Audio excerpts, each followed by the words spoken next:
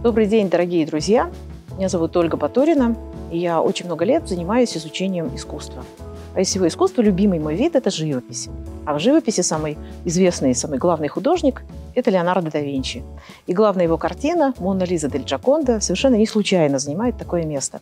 Потому что э, Джаконда – это не совсем портрет. Это картина, которая начинается как портрет, но на самом деле это рассказ обо всем нашем мире, о Вселенной, о человеке в нем. И это картина мира эпохи Ренессанса.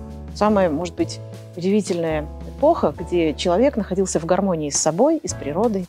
Но самое удивительное в Джаконде – это ее улыбка, неуловимая, вечно изменчивая, абсолютно неповторимая. Если мы с вами посмотрим на копии Джаконды многочисленные, то в каждой своей копии Монна Лиза будет абсолютно э, однозначной. То есть она будет грустной или скучной, или строгой, или, или радостной. И это всегда будет отражение вашего настроения. И только у Леонардо да Винчи настоящая Джаконда все время меняется, как наша жизнь.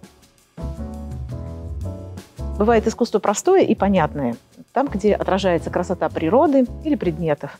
И мы откликаемся на эту радость узнавания – бывает искусство непонятное, где нет сюжета, где нет фигур, где нет истории, а мы к ней привыкли. И особенно любят такую абстрактную живопись художники 20 века. Живопись вообще все время меняется, потому что на самом деле живопись меняется тогда, когда меняется мир. Э, художники – это такие инструменты в руках Бога. Художники – это такие локаторы, которые воспринимают идеи своего века, своего времени и выдают их в образах. Чем талантливее художник, тем ярче будут эти образы. И еще есть одно свойство такое удивительное в живописи. Живопись никогда не бывает неактуальной. Ну, то есть даже искусство, созданное 2000 лет назад, все равно рассказывает нам про самих себя. И интересно нам, потому что мы в живописи древнегреческой или античной, римской, или в эпохе Ренессанса, или в живописи барокко все равно узнаем себя. И искусство, в общем-то, это и есть способ познать себя, узнать себя, обнаружить себя, неважно в каком веке.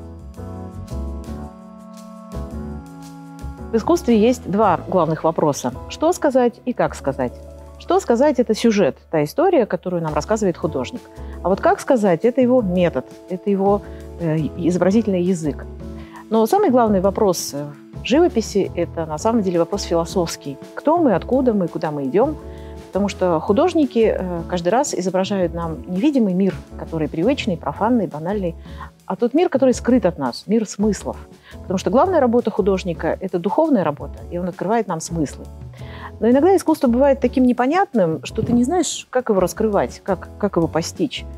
И э, для себя я выработала такой алгоритм, и вам его тоже советую. Если вы видите искусство абстрактное, нефигуративное и непонятное, то задайте себе мысленно три вопроса – что я вижу, что я чувствую, что я думаю. Если вы ответите хотя бы по одному слову на каждый из этих вопросов, то я вас уверяю, смысл искусства, на который вы смотрите, станет вам ближе. И еще о прекрасном. The Frame – интерьерный телевизор современного человека. В выключенном режиме его экран воспроизводит шедевры искусства, а во включенном – шедевры мирового кинематографа в очень высоком разрешении. На The Frame доступны избранные шедевры из всемирно известных музеев – Выберите категорию, и магазин искусства Art Store предложит вам подборку выдающихся произведений искусства. Откройте для себя коллекцию шедевров Art Store. Оформите подписку на экспозиции лучших музеев мира. Узнайте больше о том, как The Frame меняет представление об искусстве и помогает преображать пространство вашей жизни.